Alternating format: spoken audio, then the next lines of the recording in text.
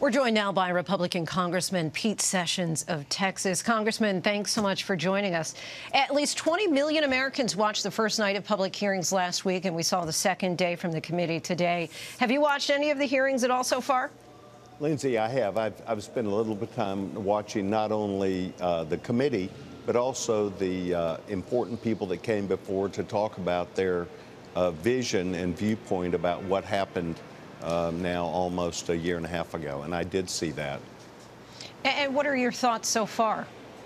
Well, my thoughts so far are that it is my hope that these uh, hearings also go further past not just uh, the election, the weeks preceding uh, January 6th, but also afterwards, where there have been uh, evidence of uh, what what General Attorney General Barr said today was not a widespread vote uh, uh, belief uh, across the country. But now, a year and a half later, there has been development of a good bit of data and information uh, about the importance of what I believe federal law enforcement is now aware of and looking at. And one person who also said that he's watching is Attorney General Merrick Garland, along with the prosecutors who are making cases against January 6 defendants. And this committee has focused on trying to lay out President Trump's role in spurring the attack on the Capitol.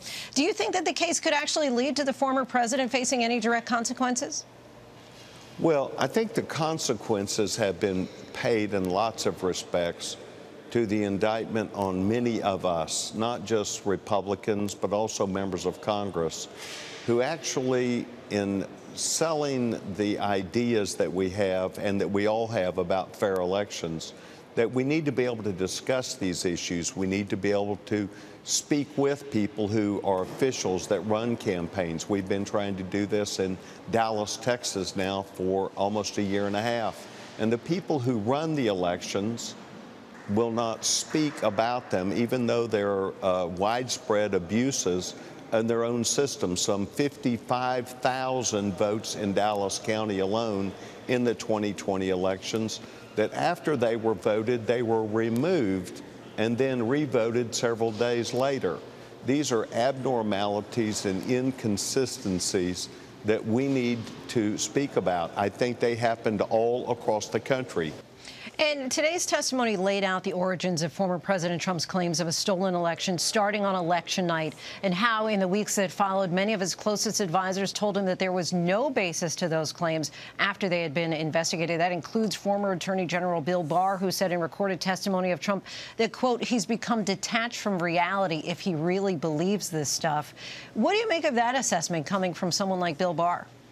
Well, I, I heard the general say that, and in fact, uh, what I'm suggesting to you is that there is lots of uh, uh, evidence that is available to law enforcement, and that was a year and a half ago. It now has become, become very apparent that there are questions of abnormality.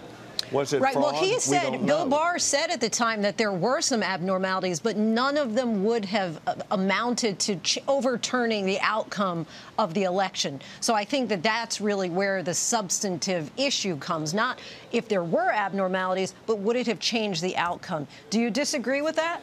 Well, no, no let, us agree with that. There were January 6th was about two states where there were these abnormalities where we were asking for the states to relook at them. Two states would have not turned that election over either. But I think that what I'm suggesting to you is, is that we now know much more now that we did not know at the time. Over the weekend, we saw what could be the first meaningful action on gun reform federally in three decades, and it appears to be bipartisan. If it makes its way to the House, where do you stand on this issue? There's much in this that we have heard about that sounds very promising. And that is that we have known for quite some time, for over 20 years, that the problems are in schools. They're with uh, juveniles who find themselves in uh, a stress and strained circumstance, uh, mental health issues, and that we need to focus on those. When we talk about mental health, we're now talking about a lot of sensitive areas about who's going to make these determinations and what that outcome would be. I think that authorities still need to know where they've got a dangerous circumstance, One of the things we need to change is a HIPAA law, or even psychologists who receive information about the threat of something, they have to be able to make that determination and say that out loud to, to, to uh, law enforcement people. These are the kinds of real changes that we need. Congressman Pete Sessions of Texas, we thank you so much for your time. Really appreciate you coming Linsey, on the show. thank you very much. Hi, everyone. George Stephanopoulos here. Thanks for checking out the ABC News YouTube channel. If you'd like to get more videos, show highlights, and watch live event coverage, click on the right over here to subscribe to our channel. And don't forget to download the ABC News app for breaking news alerts. Thanks for watching.